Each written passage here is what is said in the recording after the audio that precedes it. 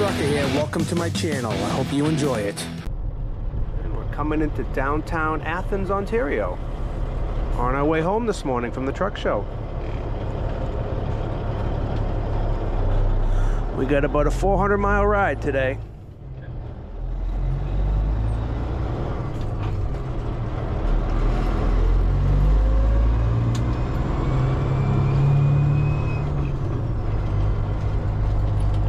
Got a nice, nice little town here, quaint. Some restaurants, some shops.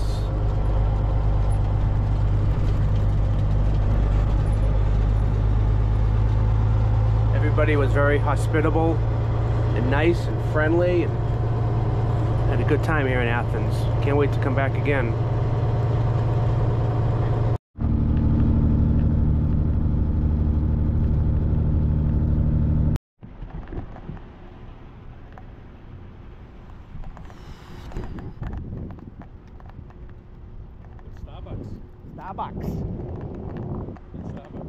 The fancy truckers. And Tim Hortons. I was told, Chuck Snow told me that Tim Hortons is uh, all about the quality of the water. Because I've never had a Really? good- never had a good one in like 20 years. Of the going. water? The water that they use Come on now. determines the difference. Oh, in the food? in the in the coffee, the taste. Oh, of in the coffee, yeah. Yeah. Let's get some Tim Hortons while we're in Canada. I'll trust the Canadian when it comes to Tim Hortons coffee. yeah.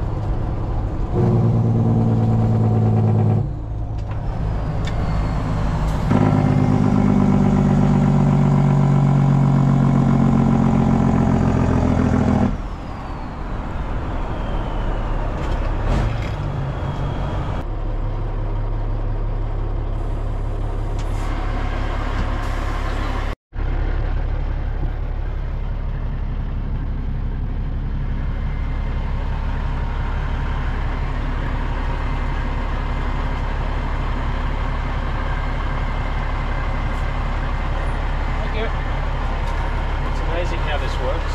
I did visa. Never, never seen anybody pay for pay for a toll with a credit card before. Well, I did it all over Europe last month. Oh, really? I was amazed because normally I get caught without the local currency, Yeah. and uh, all we did because of these new uh, chip, chips in your cards, Yeah. everywhere around the world they seem to work. So we just pull up at a toll in Italy or France, just just like you would pay for groceries. Unreal. Oh, look at this.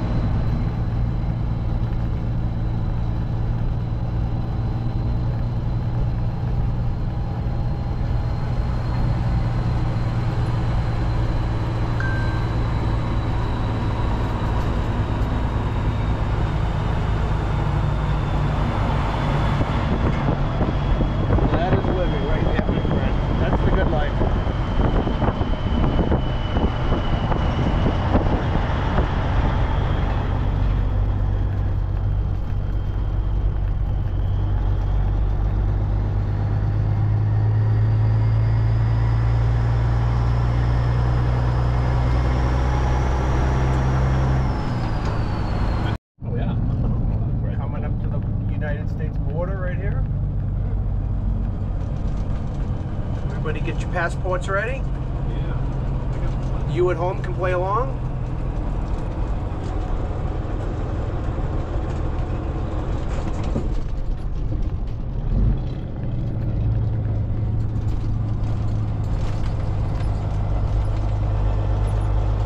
This will be the beginning of Interstate 81.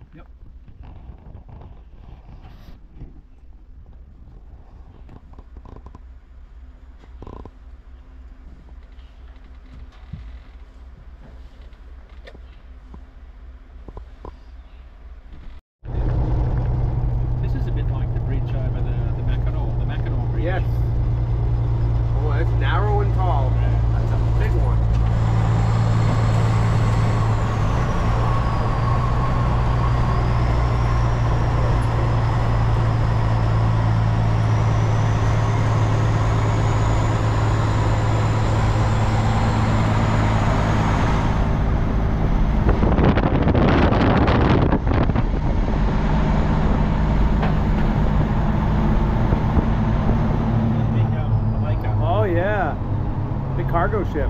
It'll be, uh, they're called Lakers. Lakers? Lakers, Great Lakers. They only run on the Great Lakes. They Oh, the taconite wow. from Duluth into uh, Detroit and, and rock, but mostly it's taconite from the coal mines in Minnesota. It's like pellets of iron ore Yeah. that they use in the steel industry around Detroit, Wow. mostly.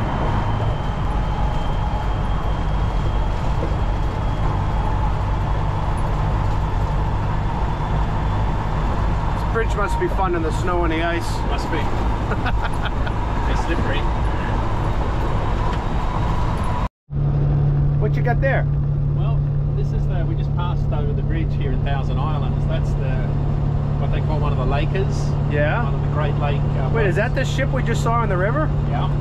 How do you know that? Uh, I have an app where I track ships around the world because in my business in the freight market, I like to see what's what's being called on what vessels and where and where the big ships are going and how much freight's going into a port. So these guys haul uh, taconite, which is iron ore pellets, Yep. and they typically load in Duluth uh, and then bring it around through the Great Lakes into uh, down into this area, and they use it in the steelworks in the uh, motor industry around Yep. Detroit.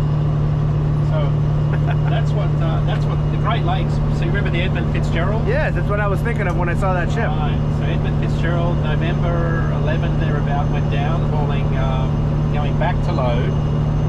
And- load of iron ore in the song, yes. Yeah, yeah, and it's little pellets. Ah. And if you look, if you go to Duluth, they bring it in on a train, and the train opens up and drops into these chutes.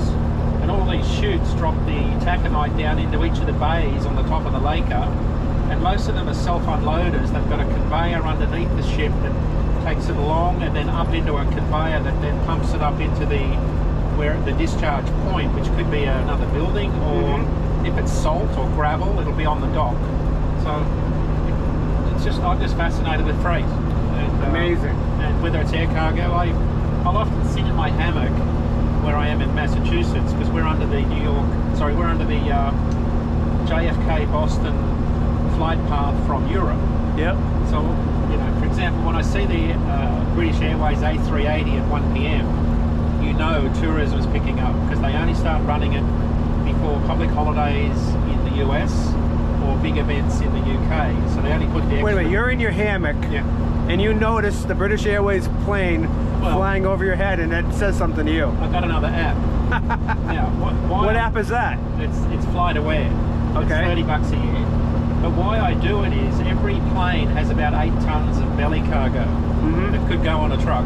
Okay. So I want to see how much cargo is being hauled because not so much the belly cargo because that's more passenger, right? But when you see more planes coming in, it means more tourism, more traffic, more rental cars, more gasoline, more food, right? Summer. But when you see the four-engine 747s, because most of these new jets are two engines, and they only leave two trails Mm-hmm. but you can always tell an air freighter with like 85, 100 tons of air cargo because they leave four in, they've got four contrails, four trails Oh, out of wow. their engines. So most of the 747s these days are air freighters and there's hundreds of them that run around the world, but it's another, the reason why truckers should watch air cargo, air cargo is the most expensive, it's the most time sensitive. When, when things are pumping, air cargo is busy. So right now, uh, capacity has been very tight from Asia to the US for holiday season inventory. So air cargo has been very busy. Uh, but it's because it's expensive. When things slow down, it's the first thing to be cut. Mm. So if you're thinking about trucking, one of the barometers I watch is how much air cargo is moving. Because when I see air cargo in volumes moving globally starting to drop, Yep. that means we're headed for a slowdown in freight volumes on the truckload side. Now, air cargo is only 1% of global tonnage, but it's 34% of the value. Mm. So it means all the high value electronics and fashion and anything that's expensive pharmaceuticals are going on planes. Yep. So it's a really good barometer for the expensive side of our freight market. Let's start from the beginning. Oh, I like your sunglasses. Did you like change those just for the camera? Yeah. It's very Hollywood. Gotta be like Mike. Look, we're like twins. Both wore t-shirts today.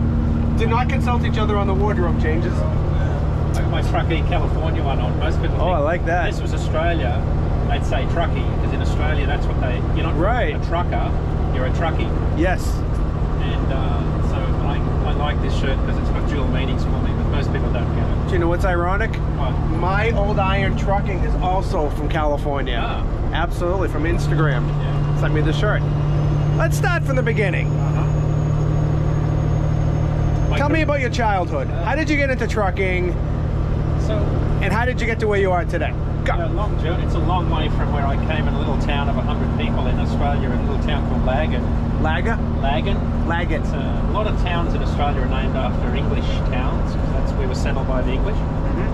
and uh, we lived on a farm. Dad had a truck, and uh, we would haul our. We, where I come from is the seed potato capital in Australia, Crookwell, Okay. and they grow seed potato disease free that people then haul away to put in their own crop. But we had, we grew hay like most farmers do, and um, at about age six, we had a, an ACCO, what they call international ACCO, a cab over and uh, we'd put a device on the side of the truck that as you drove along it would pick up the hay bale and run it up the side of the trailer and, and my dad would stack the hay on our on our straight truck Okay.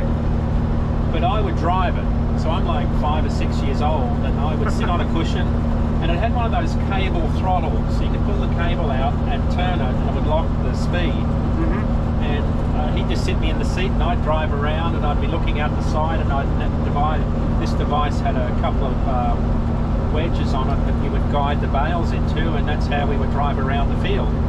Wow. And by the time I got to nine I was driving our 1418 Mercedes-Benz on the road at night while Nine years old. yeah, but I'd already been. So before that, everybody knew I could drive in our town because when we would take fat lambs to Sydney markets, which is right under where the Olympic Stadium was in the 2000 Olympics, that's Mhm. where the meatworks were. We would take fat lambs down to the markets every night, and my dog and I would unload all of the drivers' trucks. So there'd be like eight or nine trucks go down from our town with sheep and they would all go off and drink coffee, and I would back each of these trucks in. Now remember, in that day they are single drive um, R190s with Cumminses, single drive, um, 38 foot trailers with spread axles. Mm. So not easy to back, but no power steering, Okay. except for my dad's Mercedes Benz, which had power steering and a five speed synchromesh. Everything else was old Kenworths and Internationals. So they were hard to back, but I, I would uh, back everyone's truck into the ramps and I would unload them with my dog. And I taught With your my, dog? Yeah, What did, what sheepdog. did your dog do? Was he there for moral support or did he actually do something? No, he's a work dog, sheepdog. He's an Australian sheepdog. So he, I taught him to undo the chains with his nose as he goes through the crate. Well, we call him a crate. You call Yeah. a cattle trailer or a pot. The, the, the gate was had a little chain on a loop, and it, you can he could lift it up. So I would just let him go, and uh, I would change the decks as we emptied one deck. We had three decks of sheep, and he would just go through, and, and the sheep would run out and take the truck off and bring another one in. So that was, you know, by the time I was nine, nine through like 14, I did a lot of driving on the road at night, and then go to school the next morning. Ah, And and the funny story is when I, in, in primary school, my parents uh, got a call one day and they said, "Your son's a terrible liar. a terrible liar. Liar. He tells these stories about what he does at night." and and uh, mum and dad said, "Well, that's that's just half of it. Here's what he really does." Ah, And they said, "Really? You let him do that?" I said, "Well, like, you know, yeah, absolutely, because we've got to get home for school." So I, I, I wouldn't change it for anything. I grew up with adults.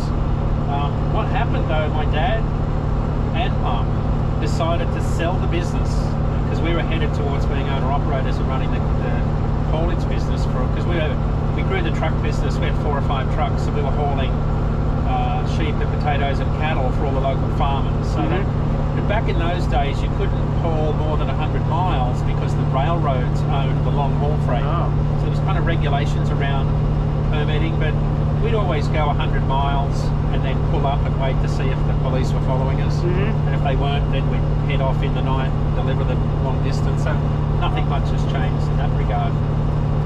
So he sold the business, because he wanted his kids to get an education, so we moved to Canberra. And uh, and it, you know what it's like. You grow up in trucks, you can't you can't get away from it. yep. Um, Dad was driving fuel tankers at the time and, and gravel trucks, so I was always in and out of trucks on weekend. My uncle had a 359 Peterbilt with a Corvette dash like this one, And that's I rare in Australia to have a They were, 359. How did he get it? bought it out in parts and boxes. The famous uh, Robbie at uh, truck stop in Yass bought it out from America, brought it out, built it. It was in boxes and parts. Built this magnificent truck. It's in a museum. Oh, wow. Uh, built it, and, and then the uh, guy that owns the Caltex fuel distributor bought this truck for my uncle to drive. And it had a 400 big cam Cummins. I think it had a 20-speed Spicer, and it was just a beautiful 359 with a Corvette wood grain dash. And when I'd ride with him as a kid, I just thought one day I'm going to have a truck like this. Yep. So uh, that was sort of that was during my educational years, and then ended up doing a bunch of jobs. But over the course of uh, you know my first 40 years before moving to the US, I did about two and a half million miles as an over-the-road long haul driver, managing trucks, owning trucks, you know, running large freight fleets. The biggest job I had was general manager of a, a business called Hunt Specialised Transport. We distributed case farm machinery all over Australia. Oh, wow. That we had drop decks, specialised ram trailers, wide, heavy, all that stuff. So it was a really good job. But we were always coming to the states to buy equipment, help load the, the Williamson boats. So it always had a fascination with the the US market. And uh, I got out of trucking. I, I won't sort of bore you with the details, but I was speaking at a conference on fatigue in transportation in 1999. And having done few million miles as a driver, I considered myself an expert at falling asleep at the wheel. so speaking, Did you ever fall asleep at the wheel? every night, all the time? Come on. Yeah, absolutely. What do you mean? Yeah, run off the road, fall asleep, never hit anything, just luck. Did a lot of stupid things when I was younger. Yeah. Um, I used to drive with uh, the window down and the engine brake on. Because if you fall asleep and run off the road, Sure. there's a change in the pitch and the engine brake comes on. That's how stupid it was. But we were pushing really hard. So remember, we were working 24 hours a day. This was really hard work. I was working two jobs, two, you know, do night, a night run. Uh, one night I might go with FH Transport to uh, do a changeover or a, a swap or a meet, Yep. whatever you call it, one night. And then the morning I'd uh, unload a truck in and around Brisbane or Sydney, and then so I, had- I had different jobs um, in my 30s. At this conference, there was a whole heap of global academics talking about this. They were researching fatigue, and this was in the 90s when sleep deprivation and fatigue and sleep apnea screening was just becoming a thing. Mhm. Sleep medicine was becoming a thing, and a Harvard professor was speaking right after me. It was a chance meeting, and he said, "Would you come to Boston and run my consulting business, Dr. Martin Moore-Ede at Circadian Technologies?"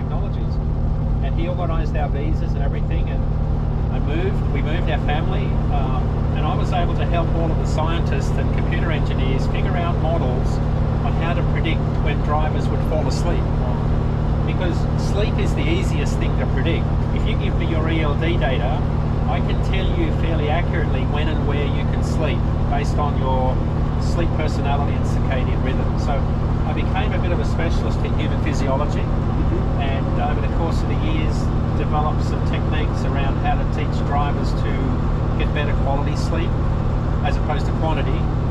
And um, and from that, you know, I've built a really good career here in the US. The last eight years has been in the freight market, not Hold so on. much. Hold, let's go back for a second. Okay. How do drivers sleep better? Okay. So you know how your dad, my dad would say, we're going to pull up for an hour. Yeah. An hour's the wrong number.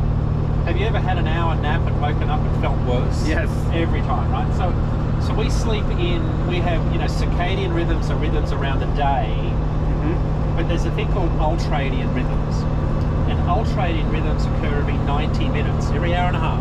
Okay. So when you're driving a truck, you'll go through a high point and a low point. After an hour and a half, you hit this low point in alertness, you wind the window down, you scratch and pick and have a cigarette and you think, I'm getting a bit tired, and then you pick up again and your alertness curve picks up. So you, you've got this roller coaster of alertness throughout the day. Now sleep occurs in blocks of 90 minutes. So you go through light sleep, then you drift into deep sleep at about 40 minutes, and you stay there for about another 30 to 40 minutes, and then after 70 minutes, you start to wake up, the brain wakes up, and you finish your sleep cycle with a dream after about 90 minutes. So you go light sleep, deep sleep, light sleep, dream. You have, and a good night's sleep is four or five of these together. So the key, so the quality of sleep comes from each of the brainwave patterns. So a, a 20 minute nap is light brainwave activity and that rejuvenates alertness, vigilance, cognition, Yeah. concentration. Deep sleep, what you look like when you're in deep sleep is your your body's tossing and turning, but your brain's dead to the world. Yeah. But you're tossing and turning because it's fixing your physical fatigue, muscles, hair, skin, bone, tissue. And then when you come back out of a dream, a dream, you go into a Mhm. state of paralysis. Oh. Your body shuts off all of your muscles except your eyes and your heart. That's why it's called rapid eye movement because your eyes are darting back and forward. And what that stage of sleep does, it does all the memory consolidation, deals with your mood, depression, and all of that. So the different stages of sleep fix the brain and the body. Mm-hmm. And, you, and if you get an hour though, an hour takes you into the bottom of deep sleep where the brain's dead to the world.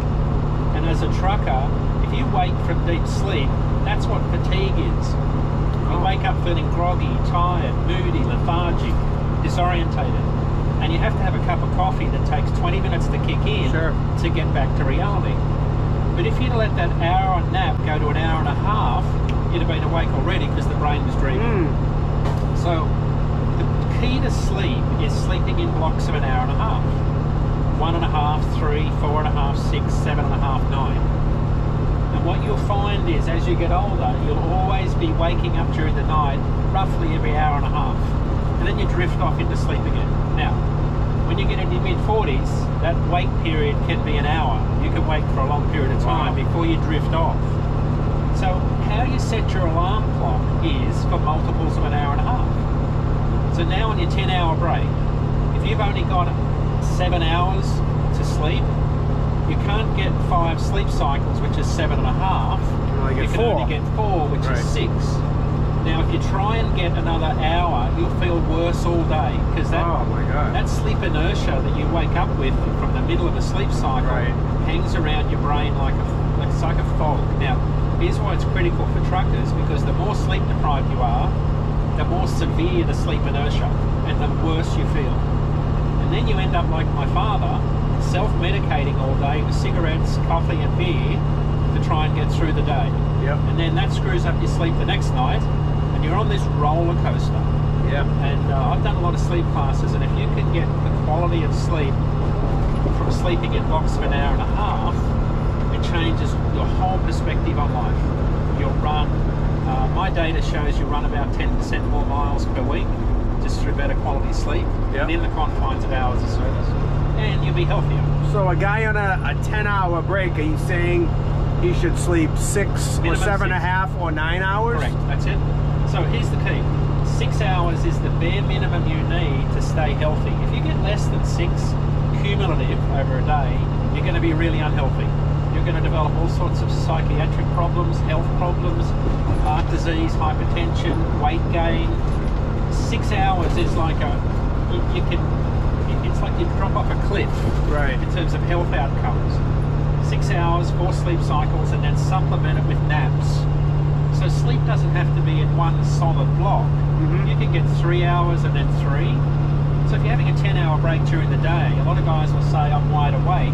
Well, what you do is you, you sleep for, say, two sleep cycles, get up, and then think, I'll just go back and have another two sleep cycles after lunch. Ah, What you don't want to do is stress because you can't sleep seven hours straight Sure. or eight hours straight. So if you take the stress out of this and just get sleep in blocks of an hour and a half when you feel tired, you'll actually function much better and be much happier and you'll enjoy the job do you use the, is this how you sleep? religiously. Religiously? Yeah, I don't have to set an alarm clock anymore because I wake up at the end of an hour and a half really Oh my all God. the time. That's amazing. Yeah. So the Harvard prof- professor says, come to America, Dean. On a plane the next week. You're kidding me. Yep. Just pack up, leave, everything. My wife left a really high paying, high profile job with the government. Moved our two boys, one was one, one was three. Here's the funny part of that. The one year old has an American and an Australian accent. The three year old is now 26, has just an, uh, just an Australian accent. But what made you decide to pack up, your wife leave a big high paying job? Was, was he offering like a, a good salary for you to move? It was And an opportunity. Where we were in Canberra, we just didn't see a future there because Ca- Canberra's the, it's like Washington Mhm. or Ottawa, it's the seat of government. Mhm. And if you look at the career path, you can see your whole 40, le- 40 year career path. And I didn't want that. I'd always been on the road, moving, and I wanted, I wanted more out of life. Mhm. And, and I, as it said earlier, I've always been travelling and I had been to America buying wreck trucks, Yep. Sending them back to Australia in containers and selling them as used parts in one of our businesses. Um, was called Amtruck. We'd come over here and buy wreck trucks Okay. take them to Kaufman, Texas, put them in shipping containers and send them to Australia and put them on shelves and sell them as, as used truck parts. So I'd always loved coming to America. So when you're in Australia, when you Australians love to travel because you're so far away. Mhm. One of the first things you do when you finish school is you travel. You have a gap year and you travel. Yeah. So I'd always wanted to, like, just wanted to travel, and I always had a fascination with America because we'd we'd just come out of an era where we had all the Hollywood movies Mhm. where where the truck driver was an icon, Yes. and and so and then there's a lot of truckers that joined the industry because of Hollywood, Sure. and so I just always had fascination with the trucks, and we moved here. Uh, moved to Boston. We've always been in Boston. It's always been home. It's very much like living in Australia. In what way? Just the people, uh, Oh. the culture, uh, not the geogra- not the geography, but just the people. Okay, interesting. Uh, Canadians are very much like Australians. There's no coincidence where Australia and Canada are part of the British Commonwealth, where the Mhm. King is now head of government. Uh, there's a policeman. Yeah, yeah. So that was sort of our life. We made it home, and I guess we were always sort of adventurous. And we met a bunch of people. We met a lot of expats that lived over here, and we built a community. Um, but it's always strange because, you know, on Thanksgiving we don't have anybody. Uh, yeah. Right? So we don't have family here. So it was always strange when there'd be major, you know, holiday events. Sure. Um, and so what we ended up doing is strange. Well, we kind of found each other, some UK people, New Zealand people. We'd all get together on Thanksgiving. Oh, nice. So we've kind of built a community. Most of the community we've built has been through school and trucking from when the boys grew up. So you get to America. Now you're you're strange. You've been to America, but you're now living here. Yeah. That's got to be daunting especially without cell phones. Because now and I've young got- children too. Yeah, and now yeah, now we're trying to drive around with the Rand McNally Atlas. Uh huh. Yeah. And uh, and of course, when we first moved here, every one of our relatives wanted to come over and visit us because now Ah. they got free accommodation. and we were very hospitable. We drove them around everywhere. My wife became a tour guide, Yeah. and everybody came over. We'd take them to uh, the mansions of Rhode Island or the lakes, or Mhm. you know, do some leaf peeping around fall up in Maine and Vermont. Sure. So we got to see a lot of the country just by taking our relatives around. And uh, but with my job, my job at Circadian Technologies, uh, I was traveling to all the trucking companies all over the country, helping them build 24/7 schedules for their drivers, so they got good quality sleep. So what my specialty is is designing biocompatible schedules, which is designing a truck schedule around the driver's sleep pattern not trying to shoehorn sleep into pickup and delivery times. Because if you have if you sleep at the same time every day you build your work around it, everything becomes much better. And most truck companies will say, you can't do that. Well, you go to your customer and you tell them what you want to do and you'll be really surprised at how accommodating they are. So at first your message isn't well received. No. And how, how, how is your message received with drivers? It? Oh, they love it. Because if you can if you can build the driver's schedule around his sleep, Mm-hmm. They are they are happy. So why this works?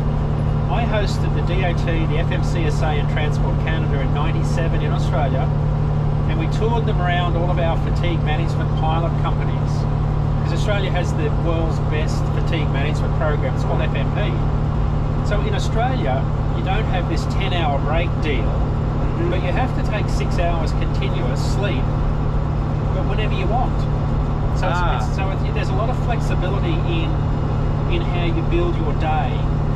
I mean, you can work 14 hours a day in Australia, but you've got to take your have your continuous break. So you can work till you're actually tired and actually ready to take that six hours instead of Yeah. sitting there stressing, going, okay, the clock told me I have to sleep now. So and that's, that's why we have better outcomes because we built we built regulations around the freight task, Mhm. not prescriptive like here and trying to shoehorn every driver into a little narrow confine of regulations which don't work for most people. So that's why most people think paper logs were all about running more miles and hours. That was part of it, but it was also about the flexibility because you could pull up when you're tired, drive Yep. when you're wide awake, and the numbers still added up to 10 and 8, or 11 and 3 and 10. But how do these sleep schedules correlate into drivers' um, uh, appointment times? So that's when you've got to change the appointment times to match around. And so the Ah. biocompatible schedule is we, we only book appointment times around your schedule, your sleep schedule. And how do the shippers and receivers? Most of them are fine with it. They are? Yeah. You That's amazing. You've just got to work with your shippers. Right. And most companies are afraid to do this because their first reaction is because if it starts as a safety program, operations say that'll never work because all we'll have are drivers pulled up sleeping everywhere, which is rubbish. Because Right. what you'll have is drivers doing more miles per week and they'll be more on time and they quit less because Right. they're, they're not sleep deprived. But I can't imagine calling up uh, a Walmart distribution center and saying, "My driver needs to get his sleep first. Well, he'll get there when he when he gets there." Well, what, what, so, so you're happy for us to take risks and force the driver to stay awake? yes, we need our store freight. Yeah, good luck with that in a Plaintiff Yeah. attorneys would have a field day with you. Yes, sir. Yes, So I've sir. been to a number of big companies, and once you talk to them, they're known and knowledgeable. Mm, They yeah. can't not do something. Right, so the smart companies won't talk to you. Mhm. But if- Sure. if, you've got a good shipper, and I think Walmart's probably not a good example because they're too big, Okay. but but they do care about safety. They, they would Oh, listen, yeah. I'm sure. But if you've got a medium-sized shipper and you've got contract freight in and out, have the discussion and see if you can work your appointment pickup times around a driver's schedule. You'll be really surprised because it's it's being done in the oil industry, the, uh, the nuclear power industry, the railroads, and the airlines. There's no reason why this wouldn't work in trucking. Sure. Have you ever met any drivers who um, went, took your plan and used it and implemented it and had some feedback? hundreds and hundreds. I've done about 700 sleep classes for truckers and their families at uh, trucking companies. Wow. And to a driver, it's the most impactful thing they've ever been taught in their life because no one teaches you how to sleep. They naively say be compliant with this logbook, but on the 10 hour break, they don't tell you that caffeine's got a half life of six hours. Ah, And if you drink a big coffee at 3 a.m., half of it's trying to keep you awake at 9 a.m. when sure. you're starting a 10 hour break. Mm. And you don't, and you don't get, get taught how to control light, the timing of light. Dean, How has the government responded to all the sleep science that's out there? Slowly, frustratingly slowly. Um, it took uh, from 1936 to 2004 to change the hours of service regulation. That was a big step forward. Uh, they adopted some of our practices from Australia. Um, problem is that one size fits all doesn't really work because a lot of us grew up with the flexibility of paper logs and when electronic logs came along suddenly we lost that flexibility and by flexibility I mean being able to pull up when you're tired and drive when you're awake right? So when I worked at Qualcomm I studied paper log and electronic fleets over 10 years billions of miles and I looked at their accidents and paper log fleets were 30% safer than electronic log fleets which all of us that have worked at paper log fleets understand Yes. because we pull up when we're tired. Now, a 14 hour clock works against you because the clock's ticking and a one and a half hour nap in the afternoon doesn't reset your body clock. It's illogical. So, this prescriptive window they put around drivers to try and make them safer, I would argue has made them worse. Uh, because you're trying to rush and fit a finite amount of work into these hours. Anyway, we all know the problems there. So I, the government's been pretty good at adapting the science. What they haven't been good at is operationalising it into schedules, mm-hmm. how we work, how freight flows. So in Australia, we have a focus on a two-week window, 168 hours in a two-week period, for example, or 144 on a urban area, 144 in two weeks, as opposed to 72 in a week. Because freight flows differently over a week and a, and a two-week period, whereas if you put a prescriptive limit around a 24-hour period, that's not how freight flows. Freight flows differently on a Monday than it does on a Wednesday, than it does on a Saturday. Okay. And, and sometimes when the freight's not flowing, you can have a longer sleep. When the freight's flowing, you've got to go. So we did a pretty good job building flexibility into our hours of service. And what you've, if you've heard me talk here, you'll hear me advocate for we need the flexibility of paper logs in the electronic log device. Yes. And by that I mean, give me the flexibility to put together the 11 how I want and the 10 hours off how I want, Mm-hmm. with the exception of I need a half hour break every five, Yep. as you should, and, you, and you've got to be able to sleep six continuous within the 10. So if you sleep six continuous, and then the other four is made up of naps strategically Mhm. throughout the day, Hour and a half naps? Yep. You are as healthy as you're ever going to be as a trucker, and Mm. safer and productive. You'll run more miles, you'll be safer. I've published lots of reports and data that prove that. So what I did in 2005, myself and our Harvard professor and Sam Wilkes, another guy from Atlanta, we built a thing called. That We wanted to apply for an exemption to hours of service rule 395.14, which allowed us to put together the 11, the 10, and the 3 however we wanted. And it was called, I called it hours of sleep. Okay. It was a deliberate play on words because I wanted the focus to be on the sleep, the health of the driver, sleep apnea screening, the schedule design. We would get all the schedules the drivers run approved, you know, by this group of sort of people. And what it showed, if you could do the 11 whenever you want and have no 14 hour clock and a 10 hour break with six hours continuous, you could run another hour per day on the road. You could actually get another 60 miles per day. And at two bucks a mile, that's another 120. You know, it's it's another, I think it was like something like another, it was almost like a thousand dollars extra revenue a week per truck. Wow. And and of course, we all know that. That's what paper logs we did with paper logs is we were incredibly efficient. We're also incredibly safe. Now, there are also the rat bags out there that did a lot of miles, Yeah. and I was one of them in the 80s. Yeah. But and, but even Guilty. now, Guilty in the we're 90s. Guilty. Yeah. But even now, there are still people circumventing the ELD system. Yes. So there's always a percentage that do that. I don't have any problems so long as they don't hit me. Yes. Right? Just blow past me and leave me Yep. standing. The hours of service, hours of sleep consortium, we had about 12 truckload carriers. Some of the mega fleets were involved in this, where we wanted an exemption to hours of service because we'd be safer and we'd run more miles. Well, long story short, the FMCSA wouldn't approve it. Uh, problem you've got in Washington is there's a lot of anti-trucking lobby groups. The railroads are one. Other LTL carriers are one. Um, and, and what it came down to was it got into an hours of service subcommittee at the ATA and they voted it down because the non-truckload people, and they'll deny this, but the non-truckload carriers didn't want a handful of truckload carriers to be more productive, Ah, even if it meant being more safe. unreal. And it was the most, I was gutted because I knew it was the best thing for the industry because I knew from my experience in Australia, having hosted Transport Canada, the DOT and the FMCSA, and helped them understand how to run driver schedules and have safer outcomes. I was gutted because I knew it would work because it had worked and we'd worked it as drivers and they decided that it wasn't something they would do and they denied the hmm. application. And to this day, I haven't given up on it because you will hear me say over and over like a crack record, you can be 100% compliant with hours of service, but sound asleep at the wheel at the same time. Unreal. So it doesn't matter how compliant you are with terrible regulations, you can still fall asleep at the wheel.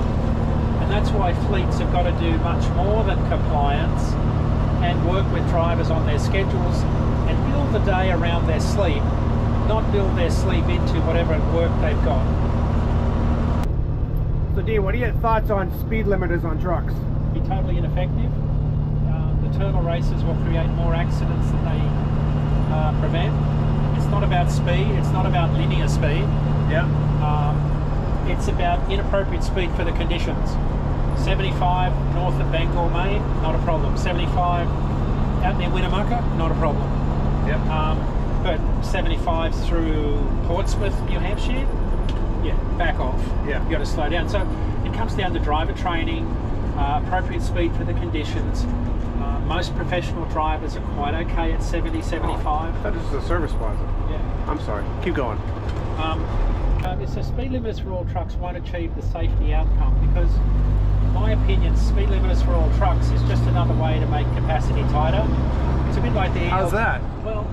Fewer trucks you've got on the road, the more rates go up, right?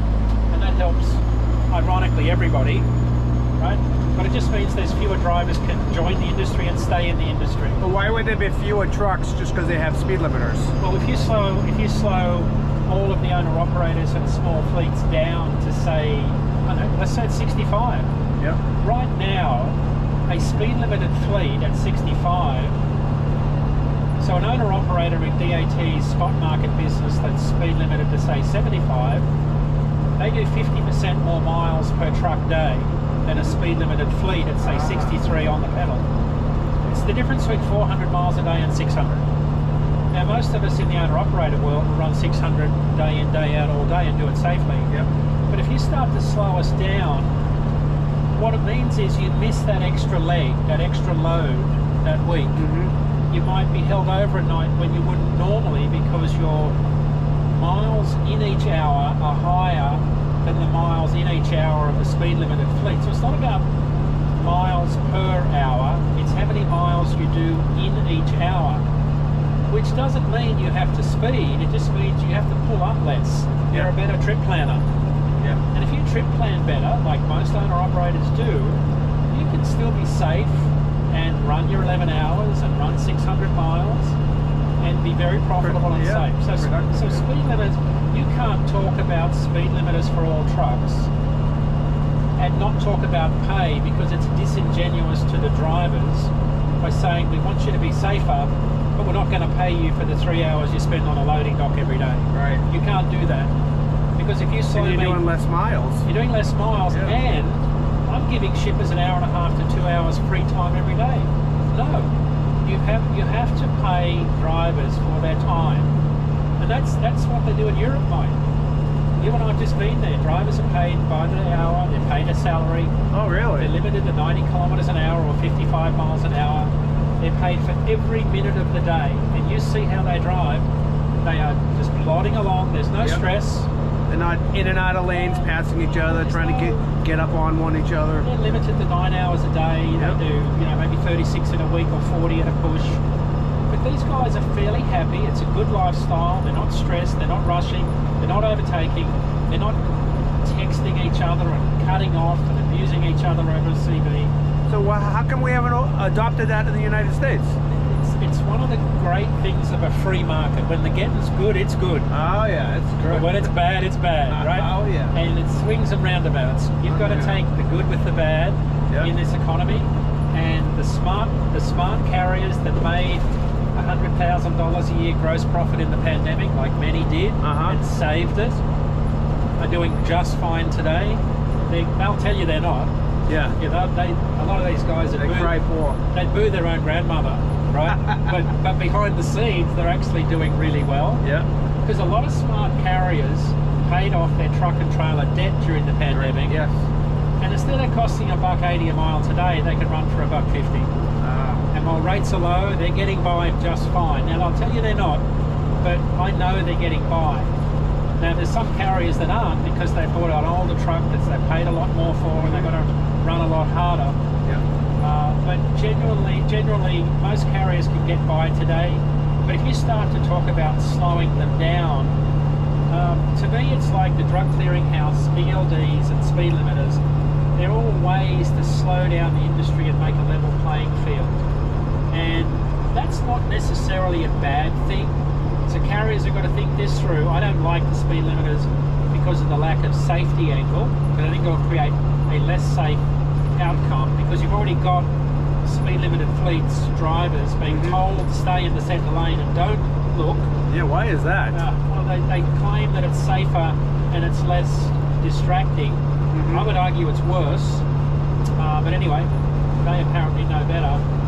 Um, I, I just think it'll create a much safer highway, just like ELDs have made it much less safe for all Yeah. of us on the road because everyone's cutting corners and rushing and taking chances. There's a lot of new new technology. It's supposed to improve our lives. It's making things more dangerous. Well, it's put a safety net around inexperienced drivers and Yes. allowed them to be more disconnected from the driving task, and they can be more distracted because an adaptive cruise or lane departure or collision avoidance alarm is going to go off. So what you do is you a have false this sense of security. false sense of security, Yeah. and it's like when ABS brakes came in, accidents went up because Ah. you brake later and harder. Yeah, Same thing will happen here. Very interesting. Yeah, it's too bad. It ruin, it's ruining a, a great industry. Yeah. Well, I like to say you've got to drive a truck, but steer a car. Well, Ah. a lot of trucks these days, you just steer them. You don't have to drive them; just sit and steer. You, you've heard that yeah. steering wheel holder. steering wheel holder term. Yeah, well, that's what it means. because you can sit there and steer because you've got all this technology around you that sort of does a lot of your work for you. But I like to drive a truck. You know, I don't want it to be comfortable and quiet necessarily. I want it to be Loud and obnoxious, yeah, like a truck should be. yeah. Feel like a truck, smell like a truck, sound like a truck. Like like this right here. flip the bumper here, give the Schneider guy a wave as we go by. Pride has a colour. I love that ad Schneider had years ago. Pride has a colour. Oh, I never heard The that one. orange ads. Remember the orange colour? I'm sure their drivers are very prideful of those colors. They're a good fleet. They're, they're one of the few fleets that I really admire that care about safety in their business. They do? Don Schneider was always like that. Well, who else do you like? Uh, I like you know people like Dupre Logistics. I like the Dupree? Dupre Logistics, Lafayette, Louisiana. Oh, oh, Dupre. Yeah, Yeah, yeah. Dupre. They haul hazmat, Reggie right? Dupre, yep. Yep. Uh, 24/7 hazmat chemicals. Uh, Dayton Freight, LTL, one of one of my best customers I've ever had. Mm-hmm. And Praxair. Praxair, there's, there's yeah. a there's a handful of really good companies, but the reality is most most fleets don't want to go the extra mile and do something over and above what the regulations require, Mm-hmm. which is teach people how to sleep. Run your schedules around a driver's sleep pattern, not around the work. Like have the guts to go to a shipper and say, "Hey, this pickup time doesn't work. This appointment doesn't work for us. Here's why. And if you just try it, you'll be surprised at how But you think there's say, a big fear in losing those oh, customers to other absolutely. In this market, yes. yeah. Yeah. There's a time to do it, but most carriers that are in a small town that have grown up mm-hmm. with a shipper, they load five or six loads a week. You can go and talk to them and say, hey, here's what, here's what we want to do. Right. But even if you're preloading 10 trailers to go out on a Sunday night, you can still talk to your drivers about their departure time. You, you might say, Sure. yeah, like there's things you can do if But it's not going to work for companies to try to monopolize the freight no, and uh, going after every business. They're going to pro- make promises they can't keep safely. right. Because how do you differentiate yourself in a market where rates are so low? You do it on you know transit time, delivery time. Yeah, I can be there. Mm-hmm. You know, the manager says, yeah, I'll be there, but what at what cost to the driver? Yeah. right? So you know, you know, I know as drivers that it's the hurry up and wait. Yeah. BS. How many times have we, you know, double tapped a load of steel Right. and get there and find out it's going to be parked out in the middle of the yard for three months? Like, Yeah, and what and, then what about all these brokers? yeah, These brokers who are saying I have a truck in the area And and the truck hasn't even unloaded yet, and and, and the promises that this is so the bottom part of a freight cycle like this that's been going on for 27 months now, where rates are soft and demand is soft, and it's going to be like that for the rest of the year, folks. Um, what happens at the bottom part of the cycle, the brokers' margins are getting compressed because they're bidding for freight as the rates come down in the cycle. So their margins are compressed. They're trying to compete for freight and win market share. Carriers' costs have been are going up as the rates are coming down. So everybody's margins are getting compressed, and everybody's making promises they probably shouldn't be making right. and and that's what ends up happening is the truck driver is left to try and put the pieces of the Mm. puzzle back together and we're really good at that And and it's all on our shoulders. it's on our shoulders yeah, and and you're only as good as last, your last load. and there's a cost Mm. economically to that because uh, that you might hurt your pay but it'll long term it'll hurt your health because if that meant sleep deprivation and stress and anger and not eating properly and not you know looking after your own body you'll pay for that eventually as we all see when we travel around Mm. And this is a career. You want to have a, Yeah. a happy ending to it. You I see I see my father everywhere Yeah, you know not, not literally not in a spooky I way understand. Yeah. but he he died of his second heart attack from undiagnosed sleep apnea all his work life. Second, and, and even in the ER, they didn't realise in the 90s that his gasping for air was sleep apnea. Mm. They thought it was the heart attack. And, uh, and they were treating him for all the wrong things. All he needed was a CPAP machine to breathe. But what he did as a trucker, get up at three in the morning, go to work, he would drink a six pack of beer and smoke cigarettes to mm-hmm. self medicate all day because his head hurt from mm. lack of sleep. Because if you're always gasping for Yeah. every minute, you never drift into deep sleep. You never get any quality. You're in bed eight hours, but Sure. you wake up with this crushing headache and you hate the world. And that's what causes a lot of the symptoms related to depression and anxiety and things like that because you lack the mental faculties to cope with the mm-hmm. stress. And truck driving's a really stressful job. You've got to have good quality sleep to cope with it. So, what would be your suggestion? Somebody's new to the industry, doesn't have the background that you and I have. Yeah. What's a few key things they should know and learn Yeah. to have a successful career in it? So start work at the same time every day. I don't care whether it's 2 a.m., 3 a.m., 4 a.m. Because if you start work at the same time, you lock in this thing called anchor sleep. We mm-hmm. have an inbuilt drive in our brain for anchor sleep. Mm-hmm. Same place, same time every day. It's, in, it's inbuilt, subconscious. Wow. So if you lock in your start time, you lock in your wake time, and you lock in your bedtime. The worst thing truck companies do is have an inconsistent start time, which, mm-hmm. as over the road drivers, we never had a same start time, did we? No. So same start time, get six hours minimum sleep every 24. Make sure you have naps, and get two periods of night sleep every seven. If you get two periods of night sleep on your days off, even if it's a 34 hour reset, make sure you get two periods of night sleep where you go to bed when you're tired, wake up when you're done sleeping. That will give you the best chance of success. So, two periods means don't set your alarm to wake Yep, up. Just wake up when you're done because the brain will wake you up when it's dispensed the sleep debt from the previous week. Mm. You got to get two and seven, six hours every 24, start work at the same time. And I think the other one is the caffeine rule, right? So caffeine's got a half life of six hours. So my rule is never have, don't drink caffeine after 3 p.m. or 3 a.m. Because three hours after that, half it's trying to keep you awake. Uh huh. So at 9 a.m. or 9 p.m., half the caffeine is still trying to wake you up. and the sleep gate won't open unless you've got the caffeine wearing off and the tiredness building. So your sleep gate sometimes won't open until late at night because you had caffeine and Mountain Dew and Diet Coke at, at supper, Mm. And it's still trying to keep you awake. Yeah. So- That's some good advice. Hey, let's It- go. it Let's go. works. Let's go get some caffeine. Good idea.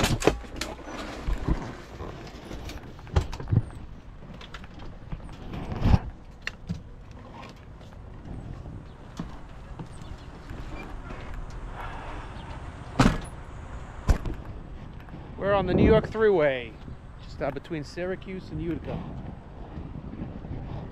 Me and Dean and the Grumpy Pete. Time for a refill? No, I'm good. I think I'm good. I think you're good. You, you had one. That's enough, right? What a beautiful day here. It's gorgeous, yeah. When people are gonna start waking up and think traffic's gonna stop pumping, maybe I'll do a little driving. Yeah, we'll see. I might get in the bunk and sleep. Take a nap. Hour and a half. You know, you know, I do my best sleep in a sleeper cab when it's driving. Really? Yeah, love it. I did when I was a kid. Yeah, I- same here. I tried a couple team runs in my early years to Vegas. Yep. I didn't sleep for a week. If you know the other driver, it's you know. Yeah, know if you trust. Yeah. So you probably won't sleep well then. No, if I know the other person sleeps well, I'm. I'm I slept well last night.